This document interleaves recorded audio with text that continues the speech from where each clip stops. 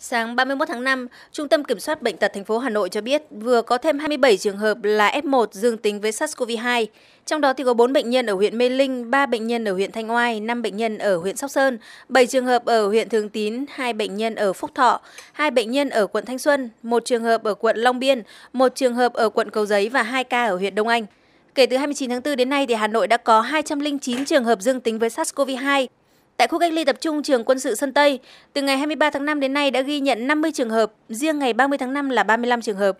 Trước thực trạng này thì Trung tâm Kiểm soát bệnh tật thành phố Hà Nội đã có báo cáo gửi Sở Y tế Hà Nội, đồng thời đề xuất thực hiện giảm mật độ trong khu cách ly, giảm mật độ người trên phòng để hạn chế lây lan. Đồng thời tiếp tục thực hiện nghiêm ngặt các quy định phòng chống dịch tại khu cách ly.